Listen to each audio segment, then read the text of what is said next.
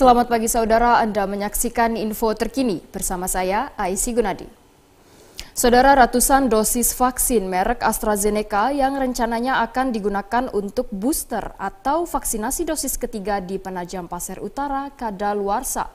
Setidaknya ada 500 dosis yang didata oleh Dinas Kesehatan setempat dengan disebut faktor banyak warga.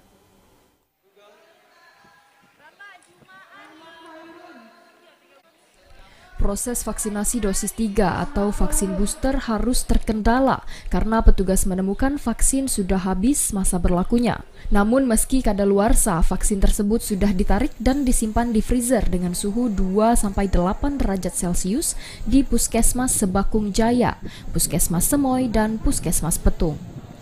Sumber Dinas Kesehatan PPU telah melaporkan jumlah vaksin yang kadaluarsa sebanyak 50 vial atau 500 dosis vaksin.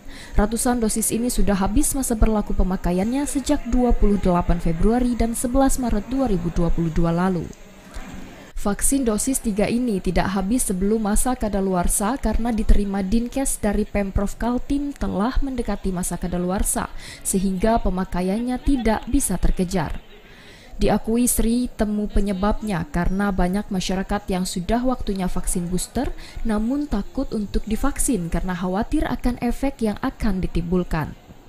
Sumber Dinas Kesehatan Penajam Pasir Utara menyebut bahwa jumlah vaksin yang kadaluarsa sebanyak 50 vial atau 500 dosis vaksin. 500 dosis vaksin COVID-19 habis masa berlaku pemakaiannya pada 28 Februari dan 11 Maret 2022. Hal ini mengemuka karena banyak masyarakat yang sudah waktunya vaksin booster namun enggan untuk divaksin lantaran khawatir akan efek yang ditimbulkan. Menyikapi hal ini, pihak Dinas Kesehatan Penajam Pasir Utara telah melaporkan kondisi vaksin kadaluarsa tersebut kepada pemerintah Provinsi Kalimantan Timur dan menunggu instruksi untuk tindak lanjutnya.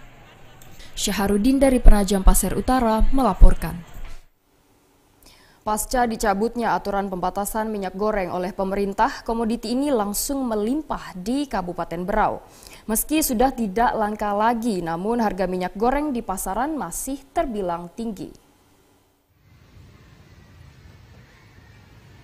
Setelah pemerintah mengeluarkan kebijakan terkait pencabutan minyak goreng bersubsidi, keberadaannya kini sudah tidak langka lagi dan telah mudah ditemukan di setiap lapak pedagang sejak dua hari lalu.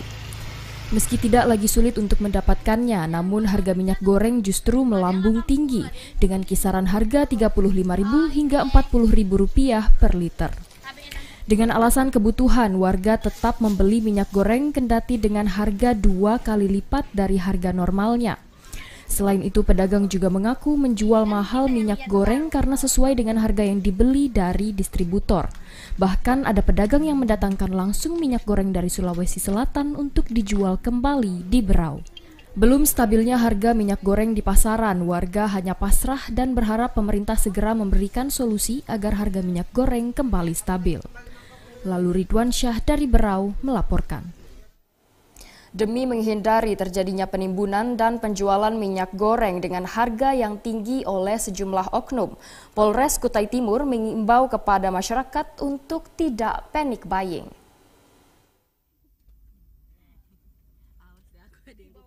Kementerian Perdagangan Republik Indonesia telah mengeluarkan surat edaran nomor 9 tahun 2022 dengan menetapkan harga minyak goreng sawit kemasan sederhana dan kemasan premium yang berlaku sejak 16 Maret 2022.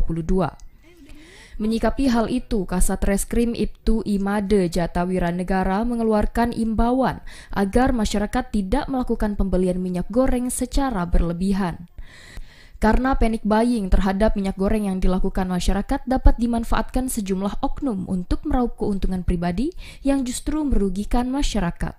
Jika telah ditetapkan harga minyak goreng curah 14.000 per liter atau 15.500 per kilogram, sementara untuk harga minyak goreng kemasan premium mengaku pada harga mekanisme pasar.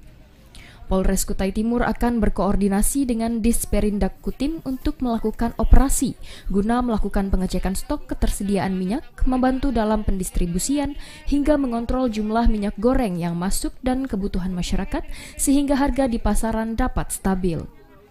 Apabila warga menemukan oknum yang memanfaatkan situasi dengan menimbun atau tindakan lain yang menyebabkan kelangkaan minyak goreng di wilayah Kutai Timur, maka segera laporkan ke Satreskrim Polres Kutim. Gunawan dari Kutai Timur mewartakan. Saudara, Anda dapat menyaksikan berita selengkapnya di Kalimantan Timur hari ini setiap hari pukul 17.00 waktu Indonesia Tengah. Saya Aisy Gunadi mewakili rekan yang bertugas pamit undur diri. Selamat pagi dan selamat beraktivitas.